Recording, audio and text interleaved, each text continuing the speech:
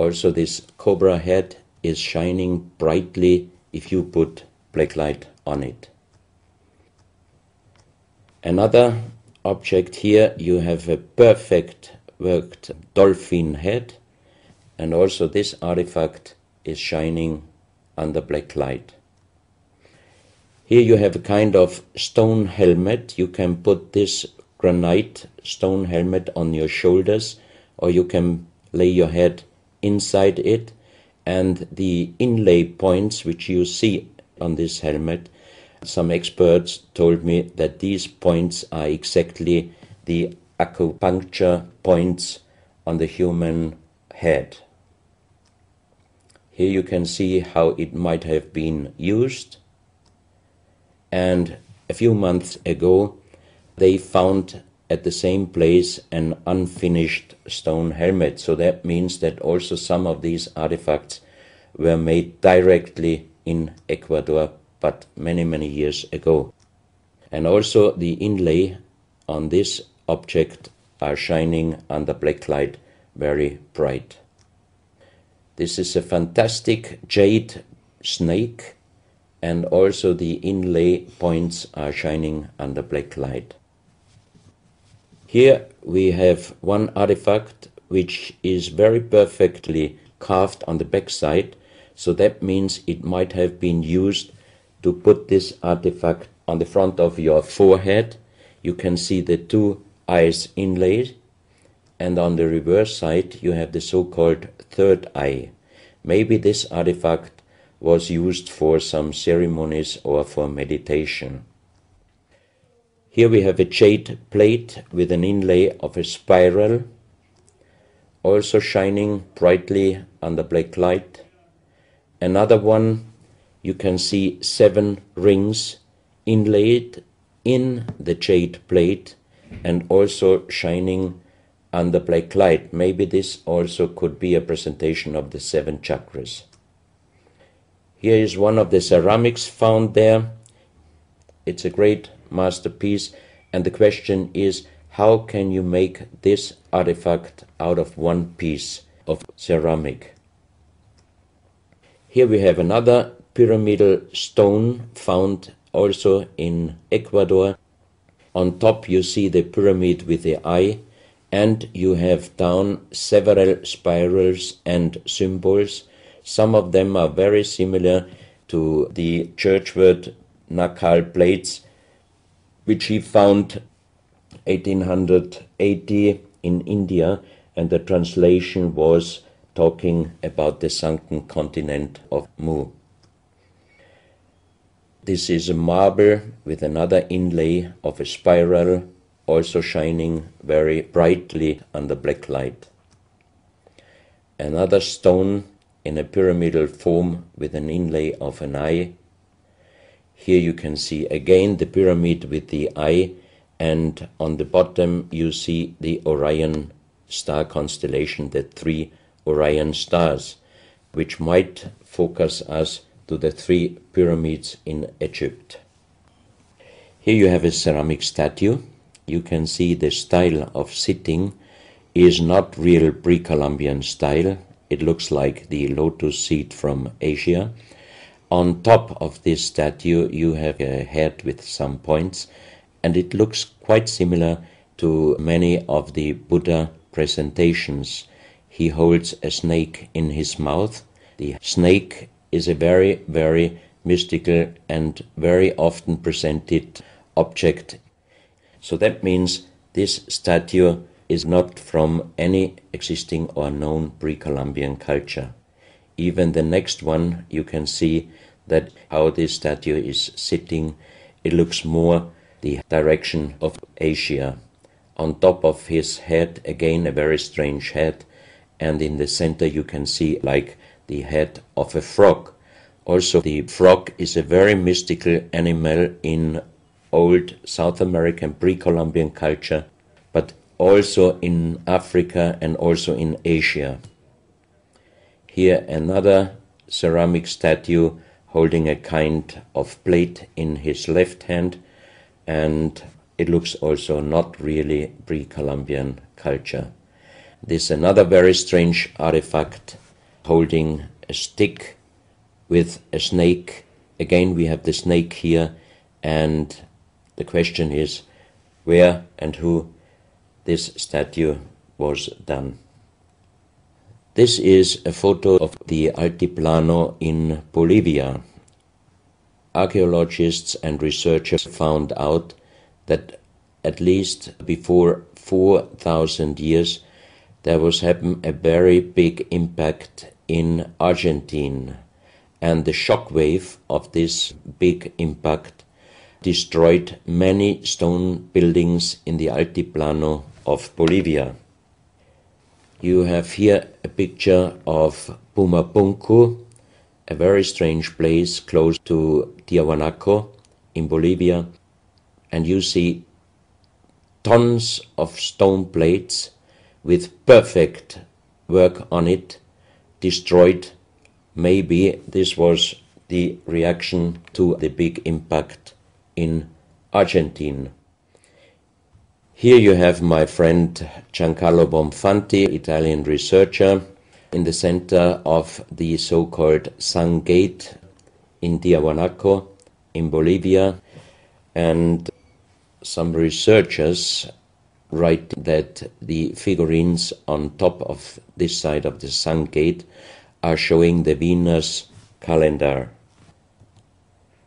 Here you have one of the big stone plates from Pumapunku and you can see how perfect this stonework was done.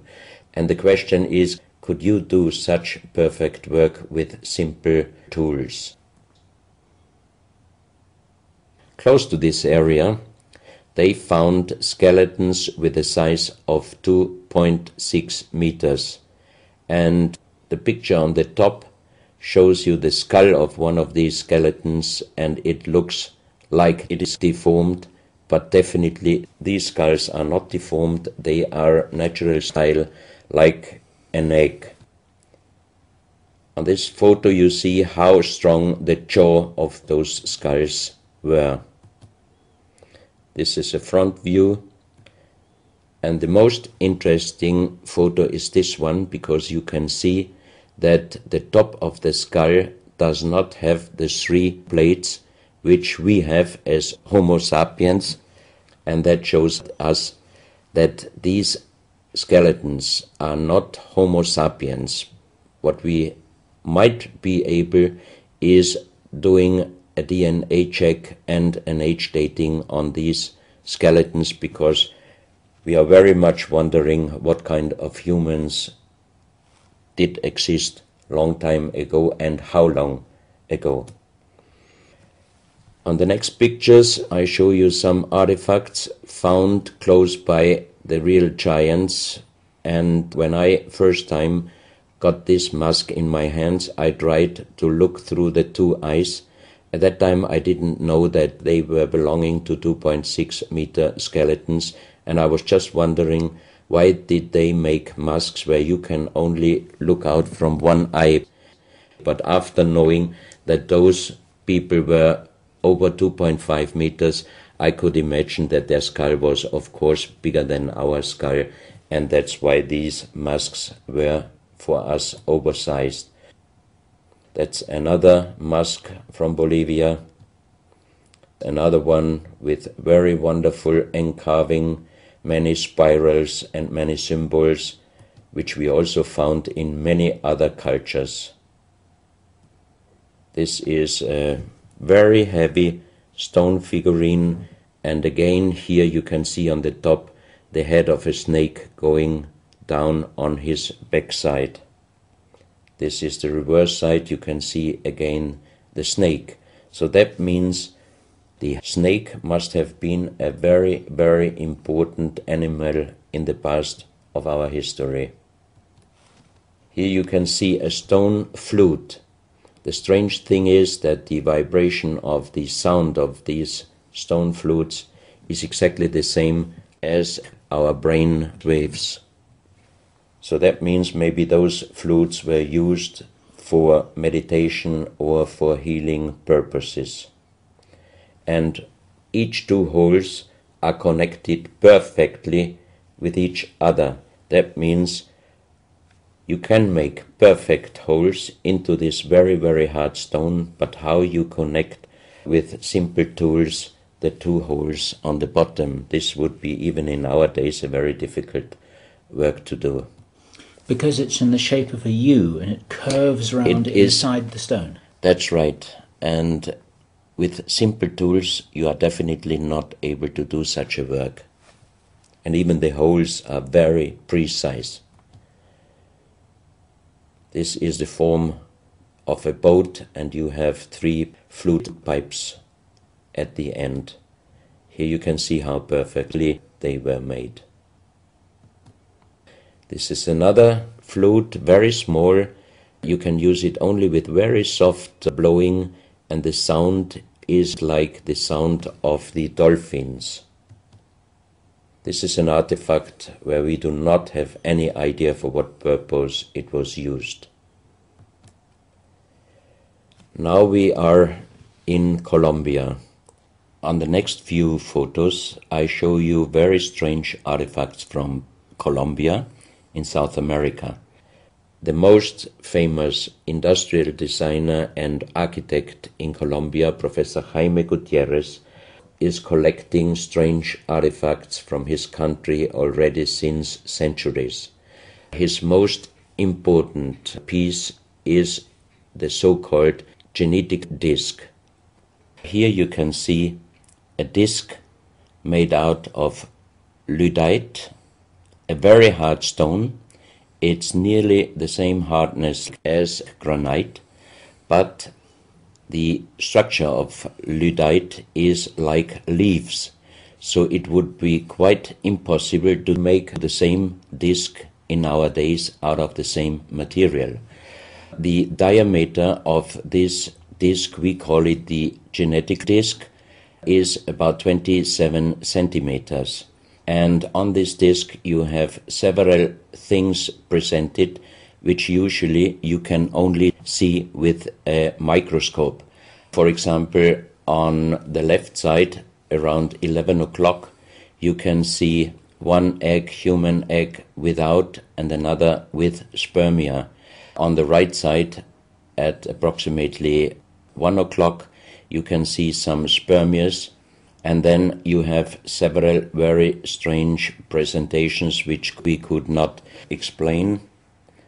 But here on the left side, you have a microscopic photo from the inside of a lady done by a Swedish photographer, and you can see that the egg without and with spermia looks exactly like the presentation on this genetic disc.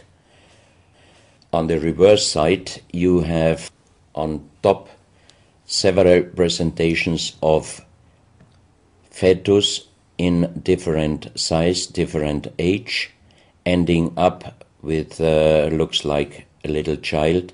You see also at the end of the plate around six o'clock female and male, and also on the right side around nine o'clock you can see the presentation of man, woman, and child. But the strange thing is how they present those human like heads.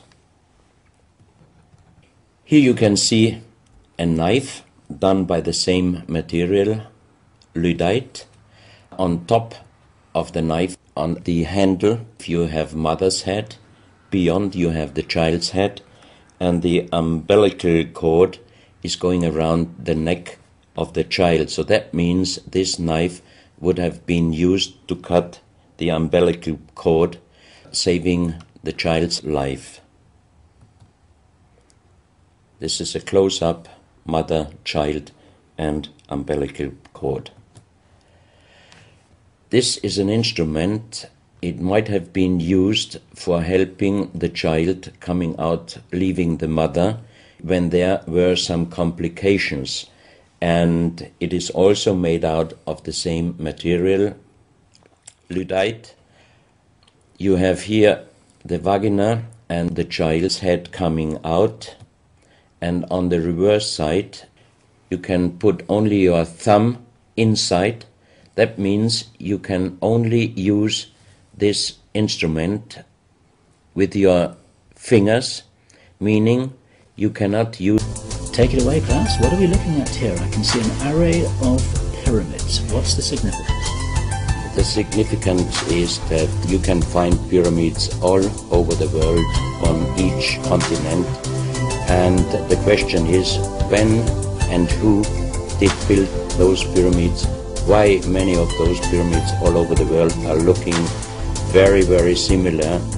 Another question is did there really exist a global civilization? And I think many of our researchers are really telling us that once upon a long time a global civilization existed. But how many thousands of years ago, we don't know.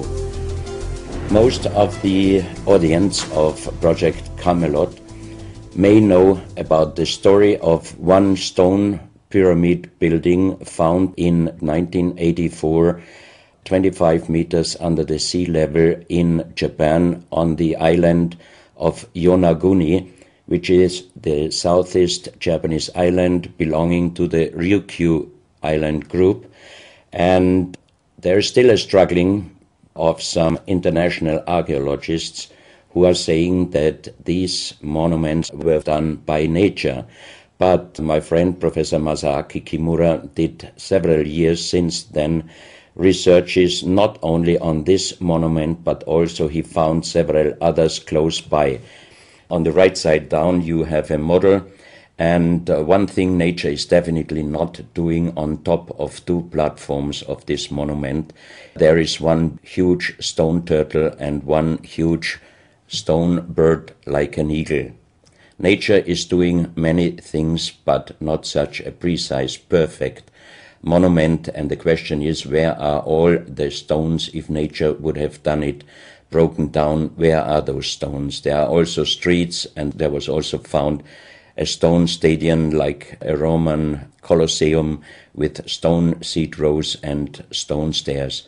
Nature is great, is doing many, many great things, but not such perfect buildings.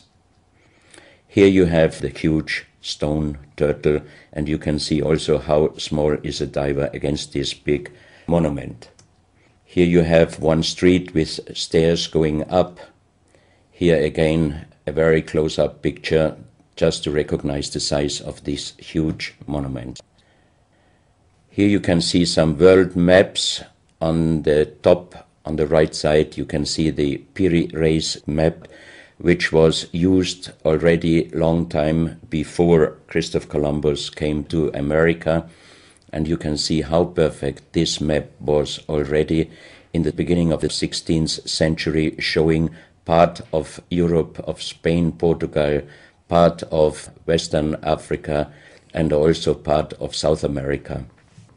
We do not know until now who was able to make such a perfect map already centuries ago, and on the rest of the Piri Reis map, which we do not show on this picture, you can also see the Antarctic without ice. In 1956, researchers found out that the Earth under the ice mass at the Antarctic is exactly like the Piri map was showing. So this Piri map should be at least older than 10 to 12,000 years. But the next question would be who was able to make such a wonderful world map? On the left side, on top, you see Atlantis, done by Athanasius Waldseemüller, and the map is the other way round. He did it the other way round, and you can see the continent between Europe, Africa, and also America. And you can see on the left side down different sides of a huge stone world map. This stone world map was found in 1984 while gold digging in Ecuador in an underground tunnel system with other 350 artifacts which do not really fit any known and existing South American pre-Columbian culture. On this stone map is a natural quartz line, a white one, and this is the front side of the world stone map, and you can see approximately in the Near East close to Saudi Arabia, you can see an inlay as an eye. And from this eye to the right and to the left is a natural quartz line going on the right side over India, Thailand, and also there's a long island on the right side, which Professor Kimura's research gave him the statement that from the northeast Japanese island until far down after Taiwan, once there existed a huge continent. But then this world map must be older than at least 10 to 12,000 years. And here is the backside, and you can see on the right side coming the quartz line passing in the Atlantic, a continent, Atlantis, which in our days does not exist anymore. Then the white line is crossing part of South America, and here you have a close up, and you can exactly see the Bay of Guayaquil, an inlay going up to north, and a round inlay showing exactly the place where there were found those artifacts, and there is also the best quality water worldwide existing. One other very interesting artifact found on the same place in Ecuador is the so-called pyramid with the eye. The eye is an inlay, the stone is gray and white, and you have 13 steps, and it looks exactly like the pyramid with a shining eye on the one US dollar.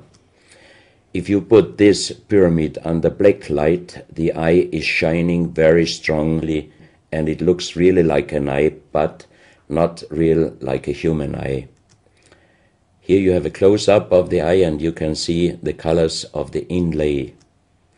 On the bottom of this pyramid, you have the inlay in little gold plates showing the Orion star constellation and you have unknown writing.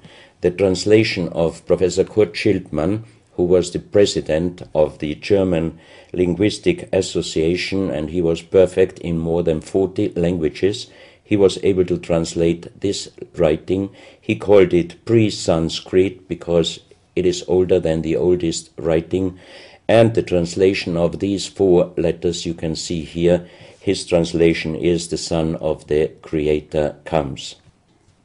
As we found the same writing on stones in certain countries like Ecuador, Colombia, Illinois, United States, Glozel, France, Malta in the Mediterranean, Turkmenistan, Australia, and in southern Calabria, Italy, just a few years ago. Always there are stones and ceramics, terracotta with the same writing. That means this writing existed once worldwide, and that means there must have been a global civilization older than Sanskrit, older than 6,000 years. And Professor Schildmann also told me that this writing has a little similarity to the Indus writing and also to the Easter Island writing. And as he said, this is older than Sanskrit. He called this writing pre-Sanskrit. On this stone, you can see on the top the two eyes, and then you see the right hand holding the pyramid and putting the left hand on top of the pyramid. That means showing how to use this pyramid with the eye. On this stone, you can see an encarving sitting a man on a stone holding the pyramid exactly as it was shown on the artifact before. From his eyes are going rays out, and on the right side you see two bowed persons. On his head he has something like a small helmet, and from this helmet goes up like an antenna to a strange object over him. And here you have the photo of the discovered helmet we could not yet make a metal research or checking what kind of metal was used, but you can see in the center of the helmet that something is missing, and that might have been this kind of antenna which was shown on the artifact before. Another very strange finding from the same place is one big jade cup and 12 little jade cups. As the 12 cups are man made and each one is a little bit different in size, if you fill them up perfectly with water and you put the 12 cups of water inside the big cup, the big cup is completely filled. The next strange thing is that you can see on the little cups numbers which are looking like the Mayan numbers, but if you compare them with the Mayan numbers, you find out that there are some little differences. And on the big cup, you can see a perfect inlaid star constellation, also showing the Orion and other stars. And inside the big cup, it is very, very magnetic, and outside the cup, nearly nothing Professional geologists are saying this is impossible because if a stone has metal particles inside the stone, it must be same magnetic from both sides.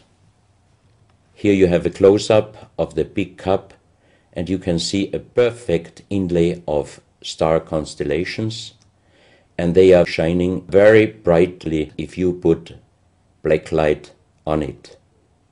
Here you have some small cups that you can figure out more clearly the style of the numbers inlaid in a strange material also shining under black light.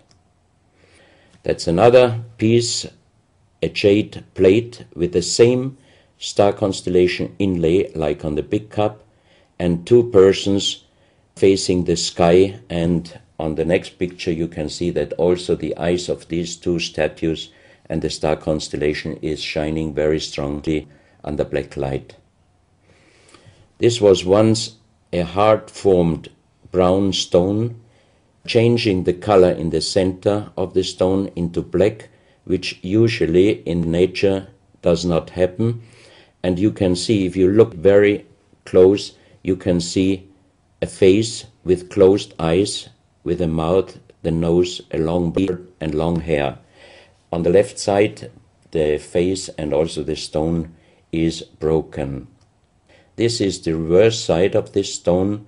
You can see a spiral and a triangle. The center of the triangle is very magnetic, also shining under black light. Here we have the backside of a cobra the cobra never existed in South America, but this one was found at the same place. On this side of the cobra head, you have 33 lines in lines. So 33 is also a very mystical number since long, long time. And on the left side and right side, you have seven points inlaid. And maybe these are the chakra at the beginning of the 20th century in Austria.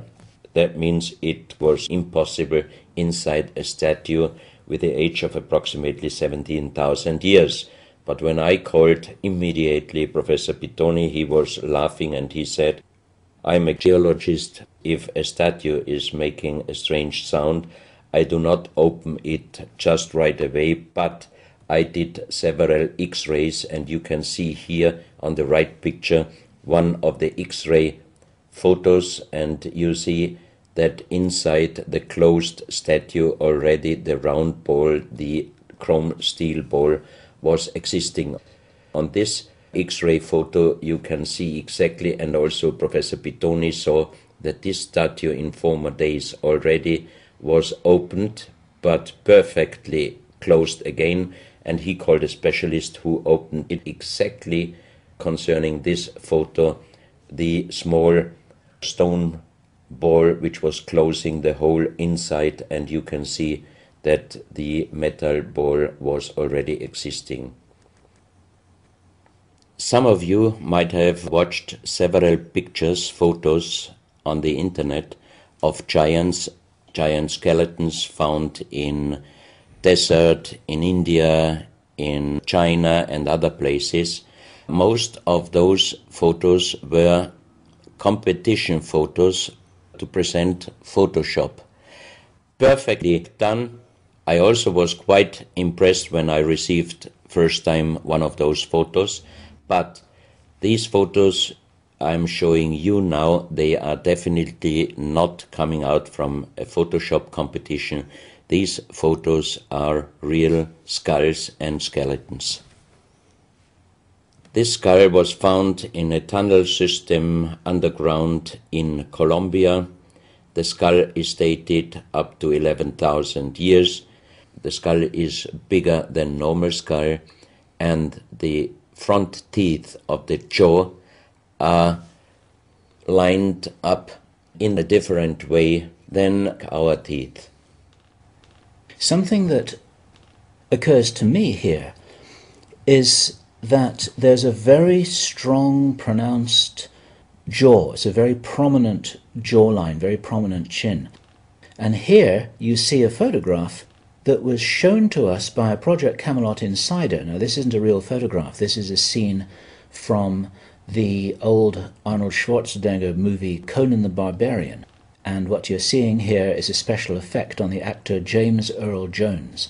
The critical thing here is the shape of the jawline.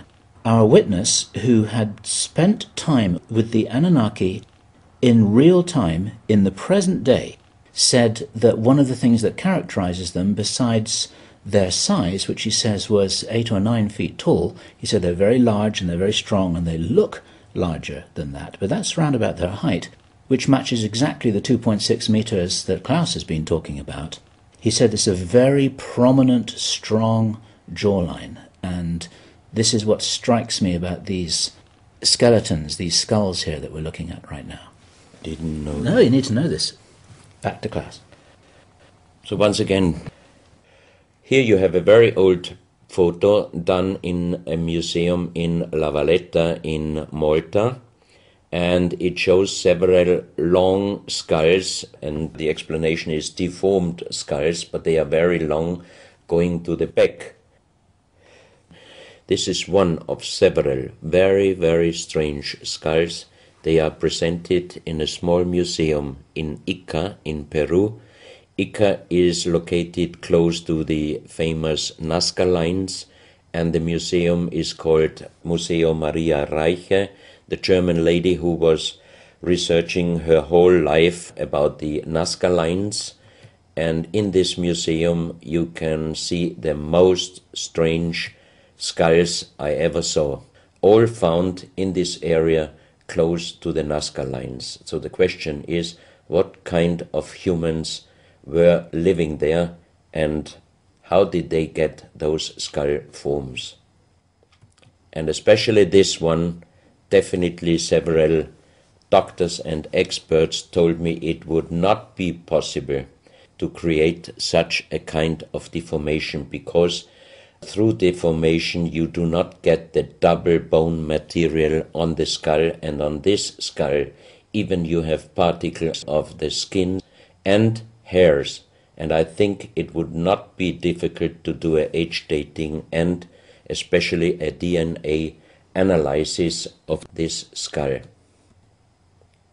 On this picture I show you some legendary skeleton forms of giants in the year of 1964 in the south of Ecuador in the province Loja. There broke down a part of a mountain platform and Father Carlos Vaca, who was working as a priest in hospitals, he was called to this place and he found the broken bones of a giant. Good. Well, Klaus, I asked you if you would take us on a journey. And for the last nearly an hour, I think it is, you've taken us on a fascinating journey not only around the world, but through time, back as long ago as 17,000 years. And it's a real reminder of how little we know about what our history really is. These are important pieces of an important puzzle, and you're doing an enormous amount to raise people's awareness of what it is that we're not shown in many museums, what it is that we don't read in anthropological textbooks, and what it is that many university professors still refuse to recognize. And thank you so much for your part in helping to raise our own understanding of our history on planet Earth. Klaus, thank you.